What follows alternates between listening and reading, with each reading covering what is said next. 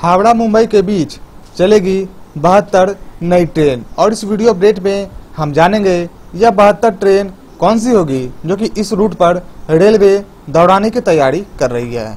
Latest video update का notification पाने के लिए चैनल को सब्सक्राइब कर लें, जिससे आपको सारा रेलवे न्यूज़ का अपडेट मिलता रहे।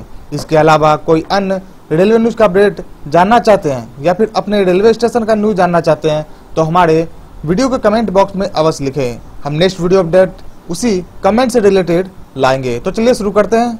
रेलवे बोर्ड ने एक सौ इक्यावन निजी ट्रेनों को चलाने की घोषणा कर दी है। इसमें 109 रूटों का चयन किया गया, जिसमें कि अब हावड़ा से मुंबई के बीच 50 परसेंट ट्रेनों का संचालन किया जाएगा। यानी कि अब लगभग बहत्तर ट्रेन हावड़ा से मुंबई के बीच चलेगी एवं हावड़ा और मुंबई से खुलेगी।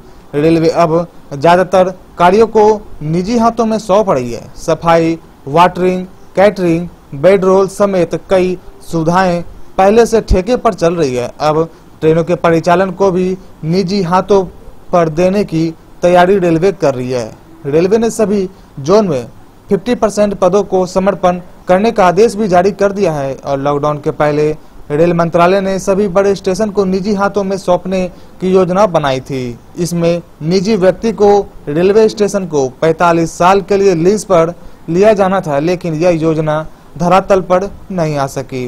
लॉकडाउन में कई बड़े बड़े बदलाव हो रहे हैं और इसी बीच रेलवे ने एक बड़ा निर्णय भी किया है। हावड़ा से मुंबई और मुंबई से हावड़ा के बीच कुछ ट्रेनों का संचालन तो शुरू होगा ही, इसके साथ ही निजी प्राइवेट ट्रेन इस रूट पर आपको ज़्यादा देखने को मिलेगी, क्योंकि हावड़ा मुंबई एक महत्वपूर्ण रूट है और इस रूट पर जितनी ज़्यादा ट्रेन होंगी, उतनी ही कम समय में आपको सफ़र करने का मौका मिलेगा। इसके साथ ही रेलवे अब कुछ ट्रेनों की लिस्ट भी तैयार कर रही है, जो कि जल्द ही इस रूट पर वो कौन कौन सी ट्रेन होगी, इसका लिस्ट सामने आएगा। हालाँकि रेलवे ने स्पष्ट कर दिया है कि 109 रूट पर एक सौ इक्यावन नई निजी ट्रेन का संचालन शुरू होगा।